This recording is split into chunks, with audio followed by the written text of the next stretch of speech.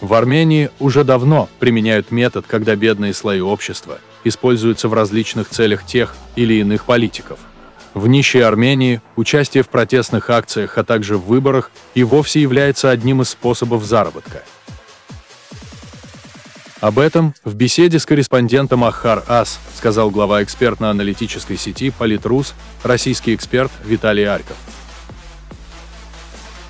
Сейчас из различных самых бедных районов и провинции автобусами приводятся люди, которые за определенные суммы принимают участие в акциях протеста. Им даже нет разницы, что кричать, что скандировать. Тут они приходят как на работу. Этим всегда занимался как Сарксян, так и Кочерян. То есть, в настоящее время больше половины участвующих в акциях протеста в Армении являются этими людьми. Это как массовка в фильмах, отметил эксперт.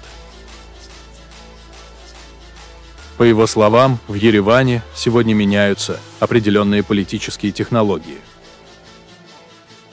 При Сарксяне были много антироссийских митингов, которые были инициированы на самом деле руководством Армении с целью давления на Москву для получения кредитов, денег и так далее. Не исключено, что ряд сегодняшних протестных акций тоже имеет аналогичный подтекст. Если даже эти акции не инициируются лично Пашиняном, то это делается в его интересах. Этот, этот вопрос, э, на мой взгляд, давно решен, и его э, попытки его поднять имеет перспектив для реализации. Например, эти акции протеста дают некие основания Николу говорить от лица народа, что, мол, мы из-за событий в Армении не можем продолжать переговоры с Азербайджаном. То есть Москва, как модератор, будет вынужден торговаться с Ереваном. Именно отсюда и питается уверенность Пашиняна, который, несмотря на акции протеста в своей стране, отправился на двухдневный визит в Нидерланды, как ни в чем не бывало. Он понимает, что купленные люди не в силах его свергнуть, сказал наш собеседник. Что думаете вы? Пишите в комментариях.